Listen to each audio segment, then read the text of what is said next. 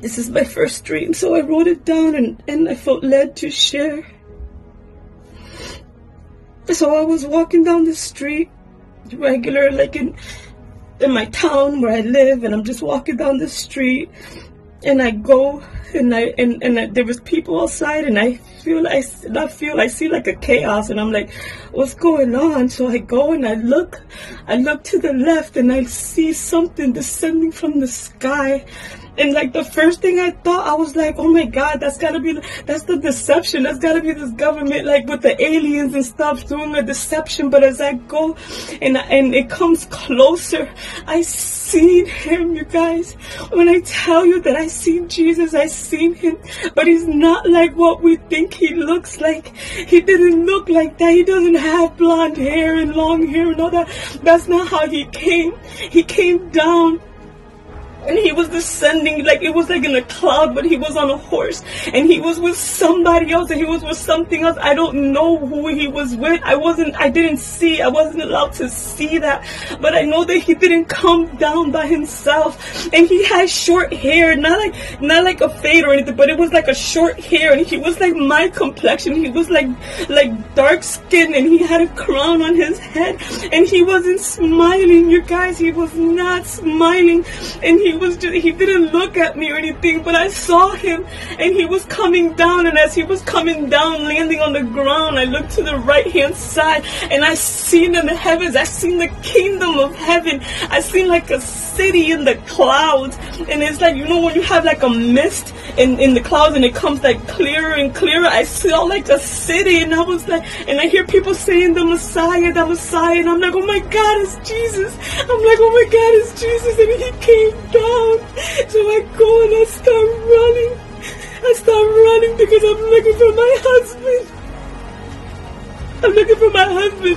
And as I keep running, I see on the, on the right side and the left side, there was these demons coming from the dirt. And they looked like gargoyles, but they were like made out of stone and they were just grabbing people. And I just kept running. And I kept running looking for my husband. I remember in my head, I'm like, he has to know. He has to know that Jesus came. Like, he has to know. And I just kept running. I've never experienced anything like this, you guys. And Lord knows I'm humbling myself. Father, humble myself, Lord. I don't know what it is he's doing, but I just I feel like I have to say it, I have to speak about it. And I saw heaven opened, and behold a white horse, and he that sat upon him was called faithful and true, and in righteousness he does judge and make war. His eyes were as a flame of fire, and on his head were many crowns. And he had a name written that no man knew but he himself and he was clothed with vesture dipped in blood, and his name is called the Word of God. And the armies which were in heaven followed him upon white horses, clothed in fine linen, right white and clean. And out of his mouth goeth a sharp sword, that with it he should smite the nations, and he shall rule them with a rod of iron. And he treadeth the winepress of the fierceness and wrath of Almighty God. He had on his vesture and on his thigh a name written King of Kings and the Lord of Lords. And I saw an angel standing in the sun, and he cried with a loud voice, saying to all the fowls that fly in the midst of heaven, Come and gather yourselves together unto the supper of the great God that you may eat the flesh of kings and the flesh of captains and the flesh of mighty men. My brothers and my sisters, be honest. Does this sound like the same Jesus that's being preached in all these Sunday buildings? He's coming back with fire in his eyes. How many dreams does he have to give us? How many warnings? What will it take for you to turn from your wickedness and finally follow after Jesus Christ while you have a chance? You're not promised tomorrow, and I promise you, you're running out of time.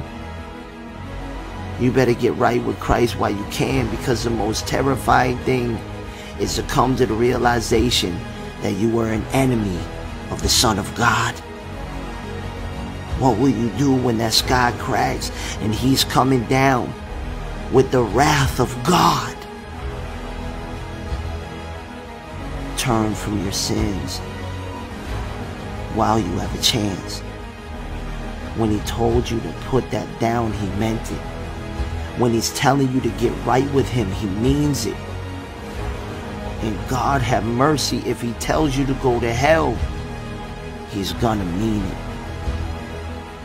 Brother and sister, this is a true warning from the Most High God. He really did warn her in a dream to tell you to get right with God. So what side are you on? What side are you on? Whether you real or you've been faking it. Soon, we're gonna find out.